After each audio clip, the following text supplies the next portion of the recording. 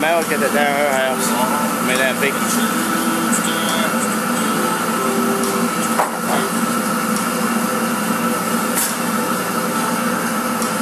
I still